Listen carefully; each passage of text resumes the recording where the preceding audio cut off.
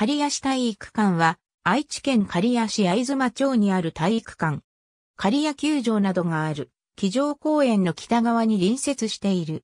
1959年に、刈谷市体育協会が創立されてから10年後の1969年10月、愛知県屈指のデザインと延べ床面積を持つ体育館として刈谷市体育館が建設された。固定座席1406席の観客席やロビー、弓道場、エアーライフル場なども備え、地方都市としては当時最高クラスの設備だった。近隣には1950年に開場した刈谷球場などもあり、市中部の騎乗公園付近は刈谷市のスポーツにおける拠点となった。1993年には市北部の築地町に刈谷市総合運動公園が完成。